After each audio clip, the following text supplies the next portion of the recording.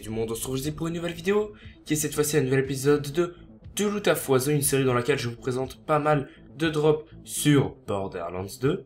Donc cette vidéo va également me permettre de vous dire deux trois petites choses. Tout d'abord, ça y est, donc les 200 abonnés que j'avais perdus lors du, euh, du, petit souci YouTube euh, ont été récupérés, donc je tenais à vous remercier par rapport aux nombreux partages, etc. Ça m'aide énormément et euh, vous me donner énormément de coups de pouce en partageant beaucoup sur les réseaux sociaux, etc. Donc ça m'aide énormément à développer la communauté, donc je tenais à vous remercier pour ça, même si je le fais assez souvent, c'est clair que sans les abonnés on n'est rien, du coup je remercie assez souvent et je parle souvent un petit peu de ce genre de choses.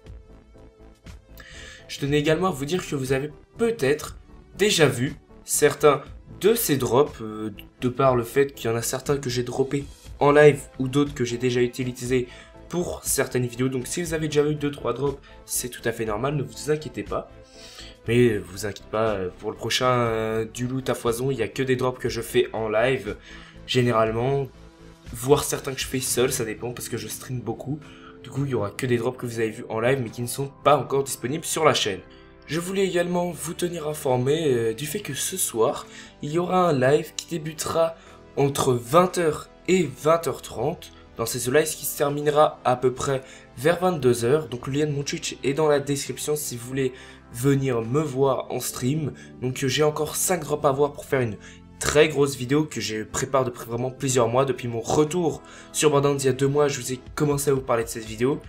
Donc il me reste que 5 petites choses à avoir et je vais pouvoir alors commencer à travailler vraiment sur la vidéo. Donc si vous voulez être présent pour du farming, également parler avec moi parce que je réponds aux gens sur le chat ou tout du moins autant que je peux, n'hésitez pas à venir, le lien est dans la description. Beaucoup d'entre vous m'avaient également demandé si j'allais reprendre les vidéos pré-sequel. Comme vous avez pu le constater, j'ai fait une vidéo sur euh, comment avoir du légendaire, euh, des armes glitchées, etc. facilement sur pré-sequel.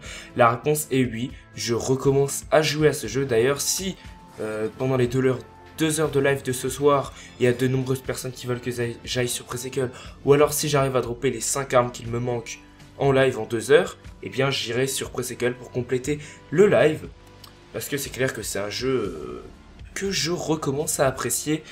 Euh, même si, il faut le dire, que c'est surtout grâce à la DLC Claptastic Voyage qui est vraiment une superbe DLC qui a vraiment rehaussé le niveau du jeu. Pour moi, la DLC Claptastic Voyage de Borderlands The Pre-Sequel est vraiment la meilleure DLC de tout l'univers Borderlands. Elle est meilleure que euh, Tiny Tina du 2, etc. C'est vraiment la DLC avec le plus de contenu, je trouve. Donc pour les projets de Pre-Sequel, il va y avoir de nouveau donc des, des devenez une légende, etc. Je vais vraiment reprendre ce genre de tactique. Je vais également continuer la série euh, où je présentais les boss sur Borderlands The Pre-Sequel. Je me souviens plus du nom de la série. Je vois que c'était combat de boss, quelque chose comme ça. Parce que sur la DLC Claptastic Voyage, il y a quelques boss que je n'ai jamais fait. Il est vrai, je ne les ai pas encore fait.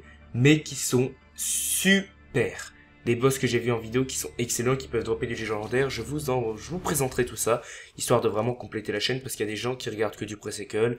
Même si la plupart sont là pour du Borderlands 2 et certains du pre-sequel, il y a aussi quelques personnes qui ne regardent que du pre-sequel. Du coup, pour varier un petit peu dans l'univers Borderlands, je vais vraiment bien reprendre les vidéos sur ce jeu-là que j'aime beaucoup et j'attends également impatiemment la sortie de Battlefield 1 euh, que je compte acheter dès sa sortie et en fonction euh, des DLC qui sortent, j'achèterai le premium également pour faire vraiment plein de vidéos également sur ce jeu qui sort dans deux mois, je crois, quelque chose comme ça. Donc euh, on va espérer que ce Battlefield vaudra vraiment le détour. Donc voilà les amis, c'est tout pour la vidéo d'aujourd'hui. J'espère sincèrement qu'elle vous aura plu. Si c'est le cas, n'hésitez pas à l'aimer et à la partager, ça m'aide énormément à développer ma communauté. J'espère vous retrouver ce soir en live d'ailleurs. Viendrez-vous ce soir au live? Quand je suis pour de prochaines vidéos Allez Ciao tout le monde